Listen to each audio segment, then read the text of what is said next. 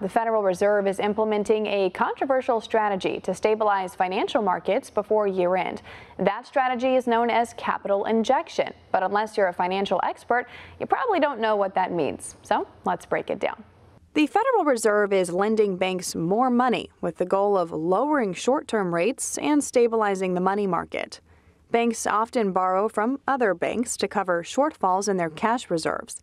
But those banks can also borrow cash from the Federal Reserve through repurchase agreements or repos. A bank will sell the Fed collateral backed securities, like Treasury securities or a mortgage loan, and later repurchase that loan from the Fed with interest. The Fed purchases collateral backed securities in order to protect itself if a bank defaults on the loan. These transactions are often just overnight loans, but 14 day repos are also common.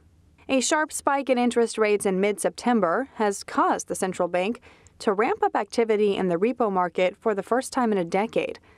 The Federal Reserve used capital injection to increase the amount of cash flow in the economy during and after the 2008 financial crisis, as banks were too scared to loan each other money.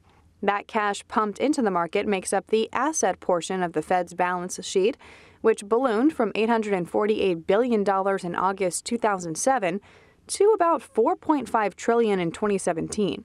The Fed began a balance sheet runoff or selling of assets in the fourth quarter of 2017 as the U.S. economy gained strength. It's unclear what exactly caused the September rate spike, but it can be a signal of over tightening by the central bank. The Fed ended its balance sheet runoff at the end of July, two months early. But now it's expanding the balance sheet again to keep short term interest rates in line with the federal funds rate. The central bank is unsure where exactly its balance sheet should settle, but is monitoring market conditions to determine when the expansion should stop.